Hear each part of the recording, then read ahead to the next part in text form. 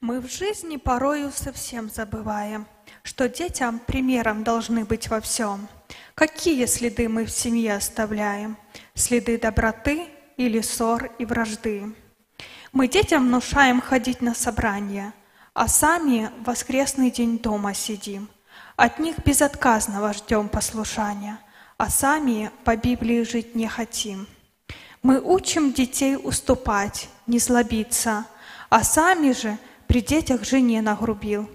И вместо того, чтобы сердцем смириться, ты даже прощения не попросил. Ты хочешь, чтобы Библию дети читали, а сам ее в руки берешь иногда.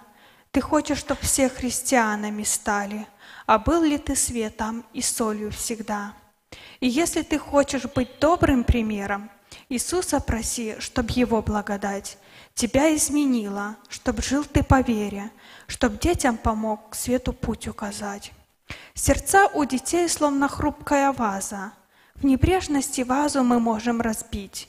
Молитесь, чтоб душ не коснулась проказа, чтоб вам не пришлось слезы горькие лить. Просите у Бога и сил, и терпения, и Он вам на помощь немедля придет. Просите небесного благословения, и Бог свою милость охрану пошлет. Давайте же будем стараться на деле для наших детей, чтоб соблазном не стать, чтоб выросли дети душою и телом, и Божий путь в небо решили избрать. Аминь.